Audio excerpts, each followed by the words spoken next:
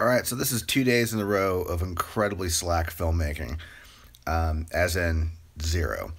Uh, I spent uh, today and yesterday working over at uh, the band's locker, um, basically doing some cleaning up or some cleanup work, and uh, getting some gear packed for some mini rehearsals I have coming up next week.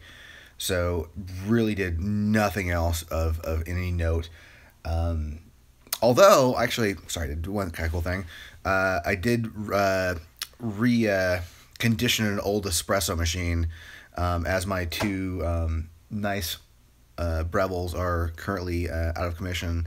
Um, I grabbed one from the locker and uh, got got it working again. Although it's a little low on the on the wand uh, pressure, which is a bit of a drag. Um, so I did a little more more research to get that fixed. Um, but it's uh, nice to have espresso at my house I suppose I to drive out to Starbucks all the damn time.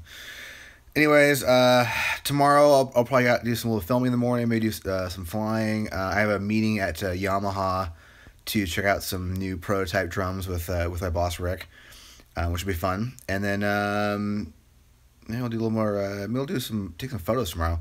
I haven't done any still work in a while, so I'm kind of feeling feel like I need to get you know get my my my photography game back on. Um, so maybe we'll go do some of that. But uh, I'll catch you guys in the morning.